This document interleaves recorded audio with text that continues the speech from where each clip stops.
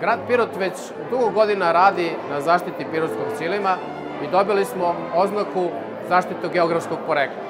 Ali informacija i vest da ćemo se naći na UNESCO-voj listi i da ćemo mi zajedno sa Ministarstvom kulture i država početi na taj način da štitimo pirotski cilim je od ogromnog značaja.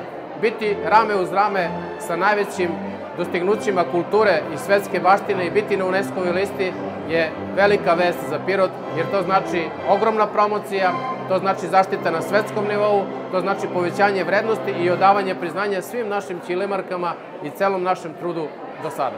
Pirot se brine o svojim brendovima i mi, pored oznake za zaštitu geografskog porekla za Čilim, imamo to isto i za kačkavalj i za peglanu kobasicu. Pirot je dakle grad brendova, ali najupečatljiviji, najbolji brend, možda čak i u Srbiji, ne samo u Pirotu, jeste pirotski Čilim.